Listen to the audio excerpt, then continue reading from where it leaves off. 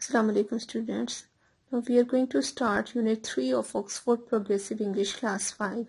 Open your books at page 14. The topic is the show. At the top you can see the question but I will give you answer at the end of the reading. Now I'm going to read the text. It is dialogue and conversation between mother and Imran. Mother, mommy, what have you bought, Imran? Imran, I have just bought a new joystick for my computer. Look. Mummy, hang on. Hang on means to wait. Hang on a moment. The box is torn. Have you noticed? Imran, oh no, I think it is damaged. Damaged means defective. Mummy, why don't you see it?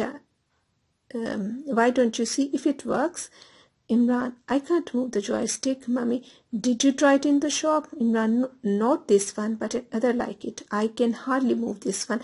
Look, it is damaged and the bottom corner is bent. I have just spent the last of my birthday money and now it is all gone.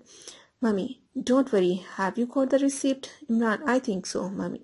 It wasn't labeled damaged goods in the shop, was it? Imran, not. It was only labeled reduced, mummy. I expect. Expect means to believe. I expect it was damaged in the factory and then it was packed. If I were you, I would take it back to the shop. They will exchange it or give you your money back. Really? Mummy, of course. They have to do that. I will come with you if you like. Imran, will you? That would be great. So conversation tells that Imran has bought um, joystick for the computer and it was damaged. When he came home, he came to know that it wasn't working. The mother said that um, if he has checked it in the shop, uh, Imran sa says that um, he has checked another one, but um, it wasn't the same. Um, and it was also damaged at the corner. And the uh, mother says that uh, perhaps it was damaged in the factory and uh, then it was packed. And she says that if she would have been at the place of the boy, she would definitely go to the shop so she will get the another one. And she says that if the boy wants her to be with her, uh, with him she would definitely go to the shop and get him a new one. Okay next page. Here we have got some pictures. You have to describe them like uh, the first one the bike uh, has a flat tire. In the next one uh, we can say um, it is also mentioned third one uh, we can say that uh, someone has broken my window and the next one I have uh, torn my shirt and the fifth one some mm, we have got some chipped um, CDs so uh, in this way you can describe the pictures in your own sentences and next one, question three, the quiz and circle your answers. If you have found a large spider in the bathroom, would you?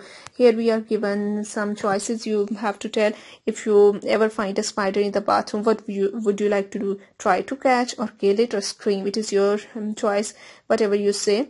Uh, I have circled the second one. Similarly, if you had a um, school book with answers written on it, would you, uh, if you got a school book, uh, which has um, answers but you would like you would like to ignore the answers copy the answers or tell your teacher i have circled the third one. Similarly you can do the rest of the exercise. It is just a quiz. Move on to next page.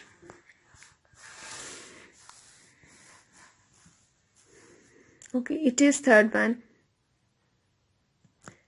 Lesson 3 the show again we have question at the top but um, at the end of the lesson I will definitely give you the answers of all three questions. We're going to start with the text.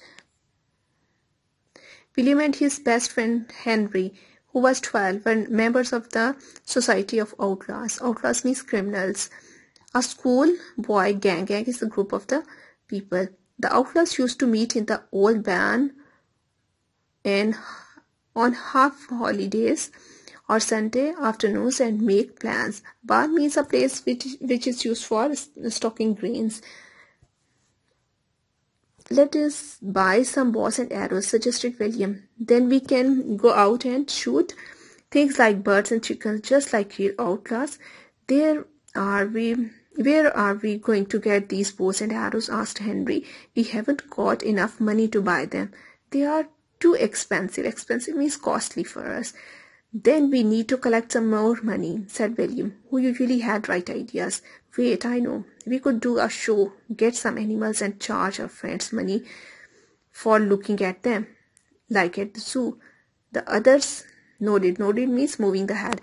Well then, he continued, we'll have a show and get enough money to buy bows and arrows. We will arrange a show for the next Sunday afternoon. It is story of the boys, uh, Henry and the William, uh, they had a group of friends. They were actually anxious to buy bows and arrows. So they uh, so they can easily shoot the birds but they don't have money. So they got an idea that how to collect the money.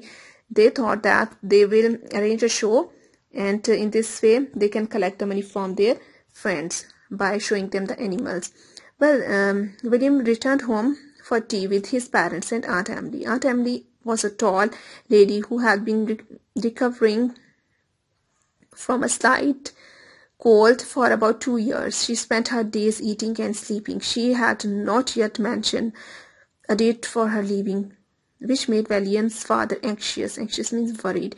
It will be a long, long time before I better, said Aunt Emily as she took a seventh piece of bread and butter and another piece of cake, please, William. Then I go upstairs and have a rest. Every Sunday afternoon, William's mother visited a friend and his father took a long afternoon nap. Nap means short sleep. When Sunday came, William quietly asked his mother whether he could have a uh, few friends in his room for the afternoon. She agreed. The outlaws had prepared all the exhibits. Exhibits means the objects of display for the show and uh, by 2.30 all was ready. For each exhibit, William had written a card with all the facts upon it. Now they have decided to um, have a kind of exhibition on Sunday afternoon because uh, on Sundays mother will not be at home and the father will having a nap. And what they was going they were going to show, it was there was a large white rat painted in blue and pink stripes, and there was a cat shut in a cat basket which it was scratching angrily with its claws. There was a tall giant, one outlaw on the back of another, their large combined body wrapped in a large sheet. There was a black fox fur, which had belonged to William's grandmother. It was laid on the floor as though it was asleep. asleep. There was Henry's small pet dog. Henry had painted it blue. William was the showman. He had dressed in red dressing gown and of his father and had made himself a small red moustache from the edge, edges of an old rug. Rug means carpet. The children climbed on to the garden wall, crawled. Crawling means moving on the hands and knees. Uh, crawled along it, climbed through the window of William's bedroom and paid their entrance fees. So this was the way.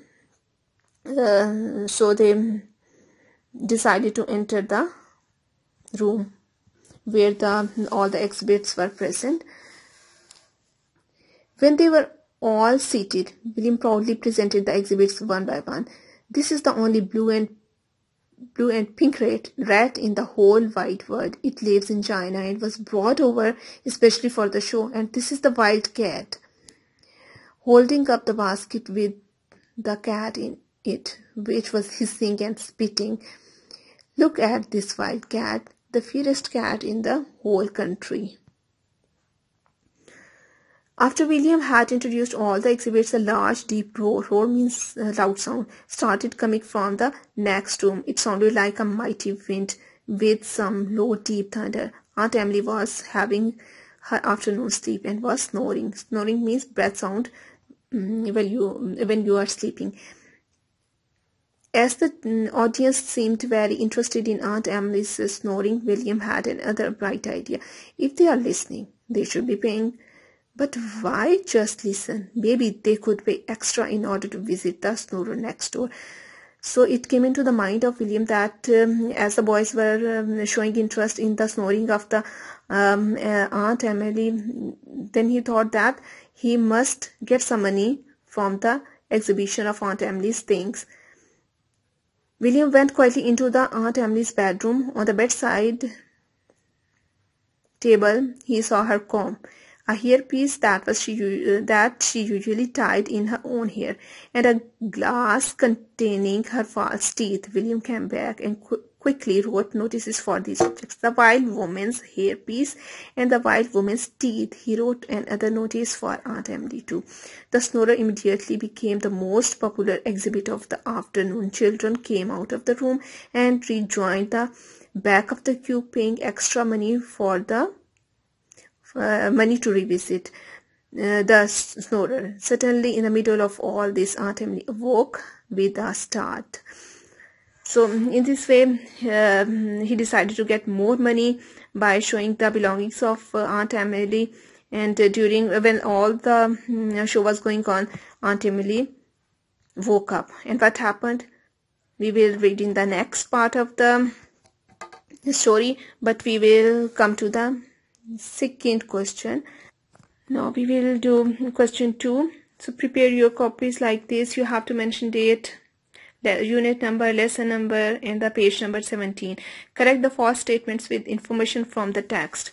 Number one statement is William wanted to collect money so that they could go to the zoo.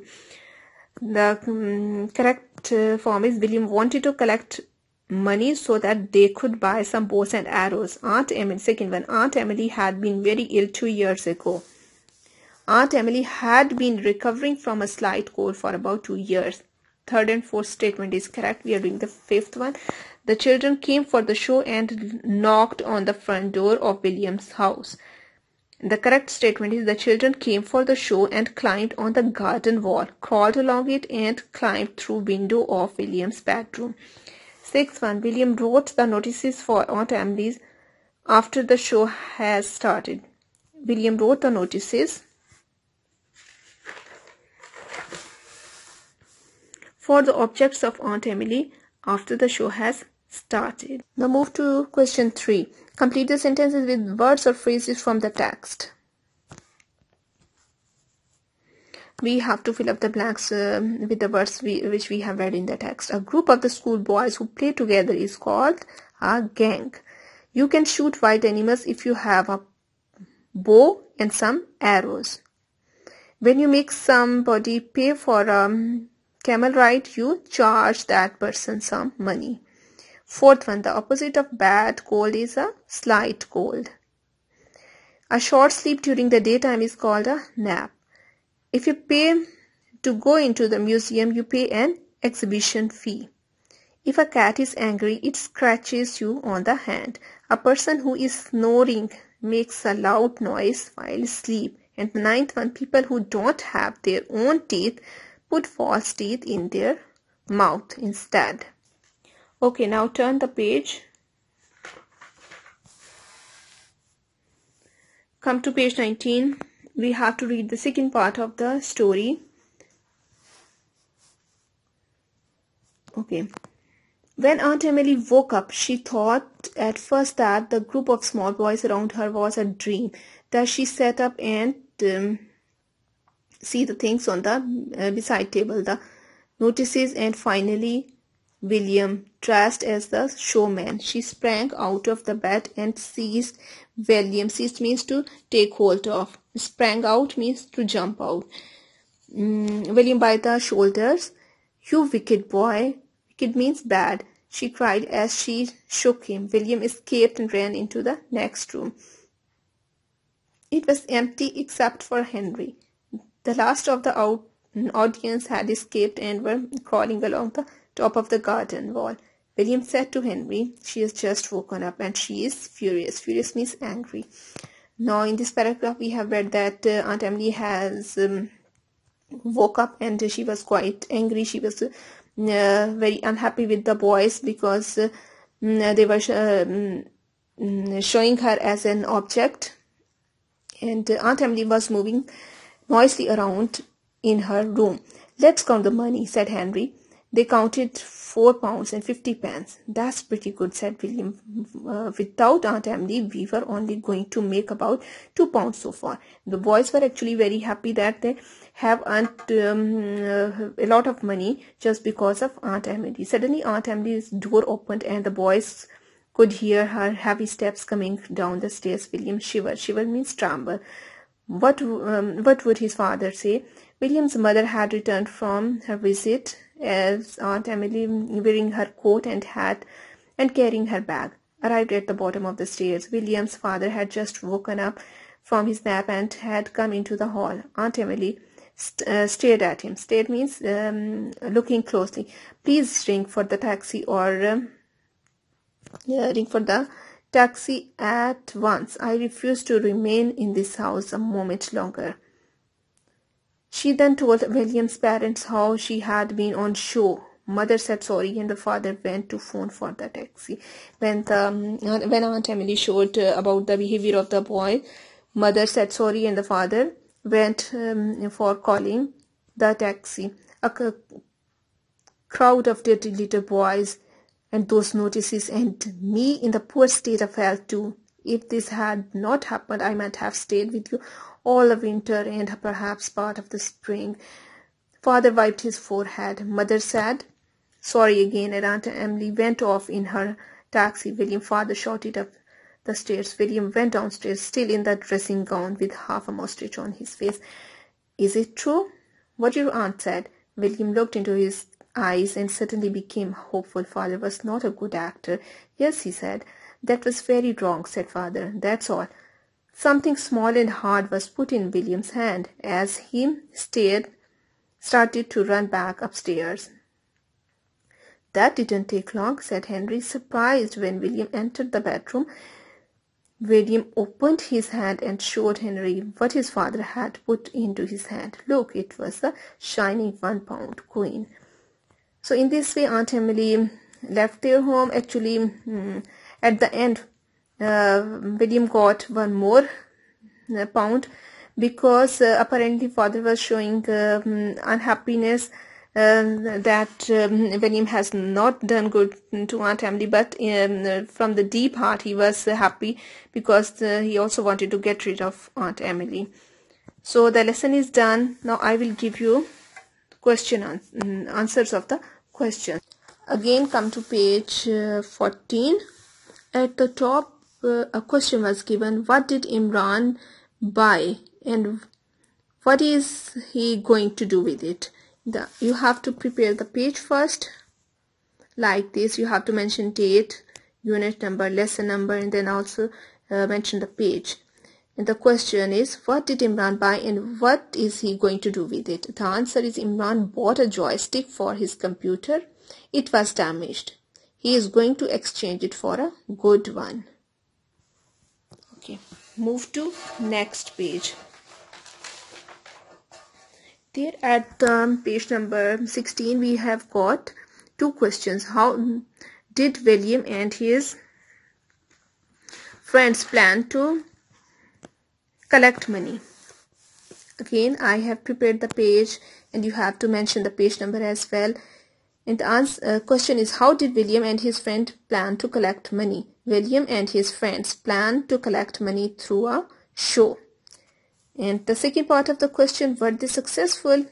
Yes. Were they successful? The answer is they were successful in it. Then again, I'm giving you the questions which are present on the top of page 19. What happened when Aunt Emily woke up? The answer is she complained to William's parents, she called for a taxi and went off. And the next one, do you think William's father was angry with him? Why and why not? We have to tell whether he was angry or not. And why? Apparently, William's father was angry with him, but at heart, he was happy to get rid of Aunt Emily. Okay, students, the um, lesson is done. Thank you.